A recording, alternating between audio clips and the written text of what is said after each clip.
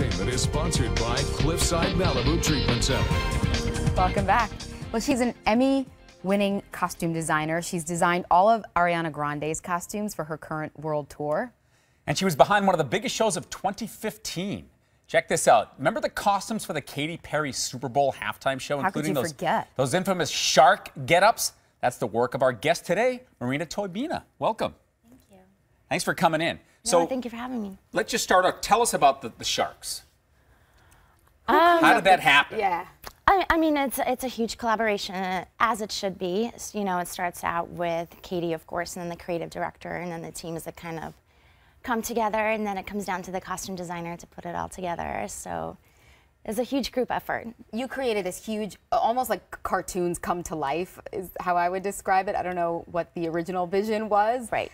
Beach balls, sharks, you had a whole bunch of cast of characters, but did you have any idea that these sharks were going to take off as an internet sensation like they did? No, I, I mean, to be honest with you, I still haven't s- watched the show.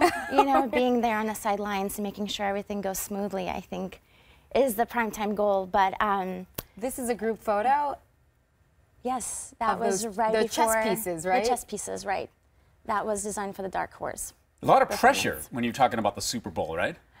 I mean, it is for me. It was my first one, so Yeah. it was exciting, and it was so great to be part of um, Katy's world for something like this, and it was an outstanding show. So, I mean, number one watched, and just everything behind it, the teams behind it were incredible.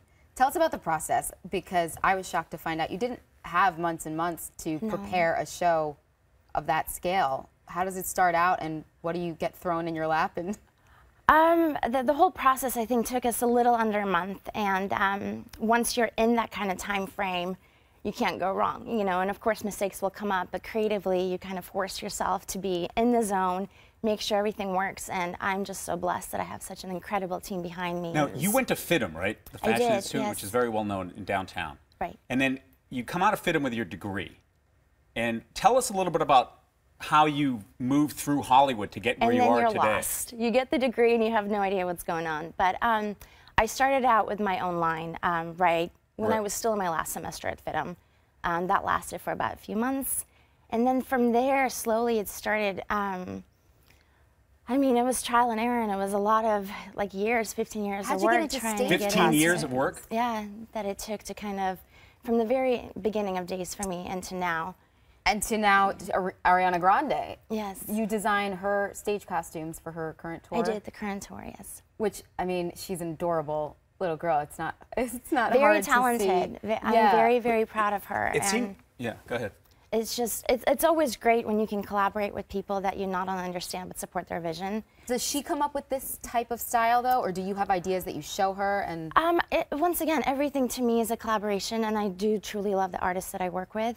So I think you have to be on the same page creatively in order to fulfill and bring them to the It seems like there's so much pressure, though, to do like the next biggest Yeah. thing. I mean, if you have 20 dancers in a 50 Right. foot train, then you got to have 100 dancers in a 100 foot train. And, I, I mean, every job I'm always nervous. That never goes away, you Yeah. know, and it's like right away getting into something new.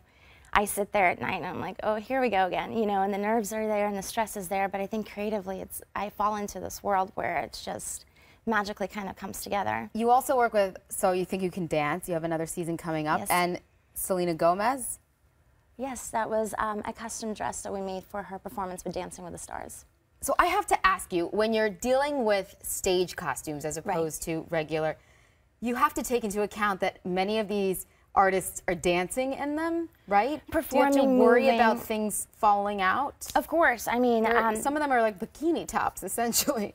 functionality is the number one key. You know, you want them visually to stimulate the audience, but at the same time making sure that everything goes smoothly. That's where I come in and making sure that the fabrics are proper, the construction is proper. Machine sewing versus hand stitching, everything is just such a process in order to get it just right for them. okay, can, before we leave you, can you tell us a story about a celebrity that really you don't like?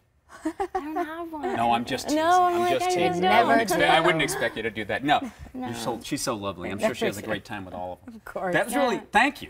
No, thank you very much. Thank you.